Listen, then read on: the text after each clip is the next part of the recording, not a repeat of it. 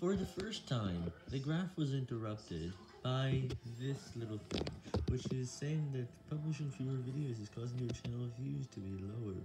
So it went from like 2300 to about 780 in one day. But this is not the actual reason. It was because of links that had to be removed and they stopped working all of a sudden.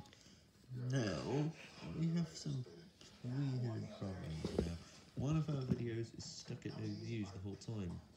All night.